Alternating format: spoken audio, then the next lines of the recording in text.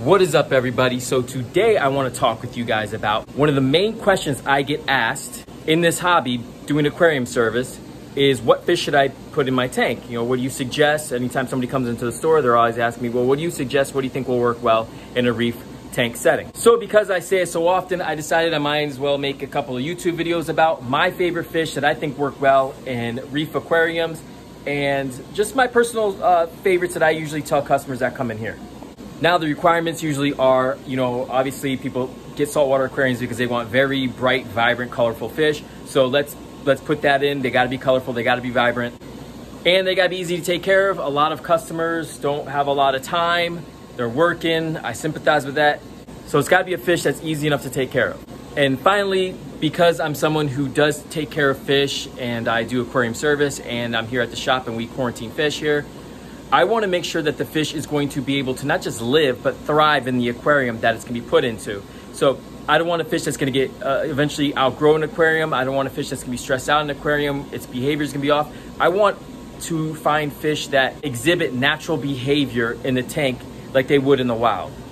With all that said, the video today will be about the lyre tail anthias, one of my personal favorite fish in the reef hobby. I love this fish so much. They are amazing. There's a lot of cool things about them that I'm gonna share with you guys today. But let's go ahead right now. I have a couple in quarantine and uh, let's go ahead and take a look at them. So here we are. These are my buddies that we have in quarantine right now. These are the lyre tail anthias that I'm so excited about.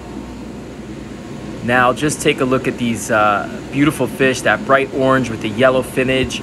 These are all juveniles. These are all, uh, I guess what you would call females at the moment right now. And we got them in quarantine. We have them under copper medication. That will be a copper medication for a total of four weeks. We are also giving them Metro, and I'm just gonna give them a little squirt of brine here to, so we can see them a little bit better come out.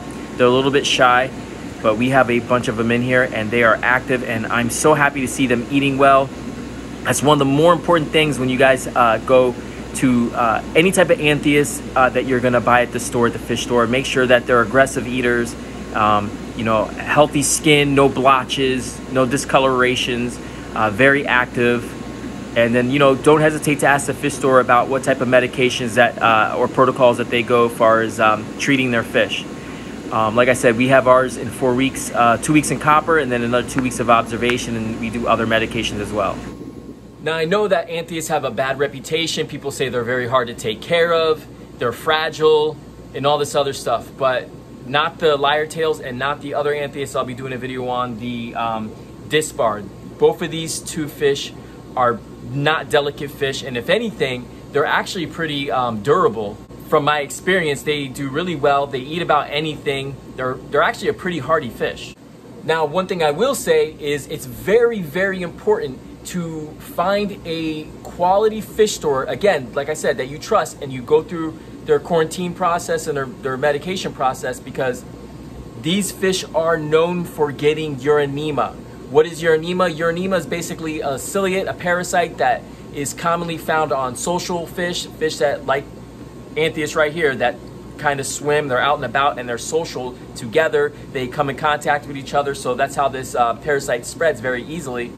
And trust me when I tell you, uronema is no joke. And it's something that's in your aquarium and it's like near impossible to get rid of. I've been working at a fish store for quite some time and I usually notice uronema on either chromis or Anthias, Like I said, because they are social fish. And usually when the fish gets it, it's really hard to for them to survive. The survival rate on that is very low. So uronema looks like almost bruising on the fish. Um, and like I said, usually when the fish has it, it's, it's pretty much a wrap from there. That's why as soon as Anthias and Chromis come into our shop, I get them right into quarantine. I do not delay. I get them into their medication as soon as possible to just nip anything in the butt uh, as soon as I can. Here's a closer look at one that I have in a bag that I'm going to take to a customer's house today. And you can get a better color, uh, uh you can see a little bit better the color in this, uh, on this fish. The bright orange, it's got a little pink on the sides, the purple, almost like mascara on its eyes. And this little juvenile is ready for its new home. So now we are at a customer's house and this is, I think this is about a 150 gallon aquarium. So that big uh, one right there is a male, and then we have a couple other ones. I think there's a total of four in this aquarium. There's three of the juveniles, and look at that big old fat boy hawk, longhorn nose hawkfish. um, so there's a total of four of them in here. So we had one in here a little bit longer. That's the biggest one. That's the male. Then we have the three little ones right here. These are the uh, juvenile females. Um, they kind of have a pecking order, kind of like clownfish do. The dominant one, uh, except with, unlike clownfish, the dominant one becomes the male and the um, other ones stay female. And this is our male right here. It's changing right now, definitely the most dominant of the uh, four Anthias. And I'm expecting within the next couple, probably six months or so, we'll start to see him really color up. We'll start to see a change in um, its colors, maybe a more purple, uh, color and also longer finnage uh, on him as well. So this one right here is definitely a lot bigger than the other three and I can start to see almost a slight change in how it's, it's starting to look and behave. Um, definitely becoming more aggressive.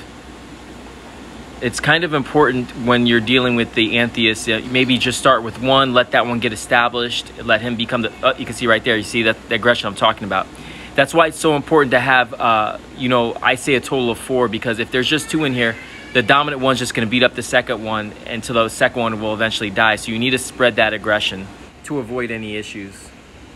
Now, I would say with them, you probably need about a at least at least a hundred gallon tank, and uh, maybe even a little bit bigger, depending how many you get. But 100 gallons, they're they're not they're out all the time. They're not active swimmers. They're not like tangs or anything. They are out all the time and it's kind of cool because a lot of people you get reef tanks and a lot of fish like to hide and stay hidden. These guys do not like to, to hide. If there's a good amount of them in there and they feel comfortable they really do like to be out in the open and, and swim about which is nice. And with that color and movement it really sets your reef tank apart.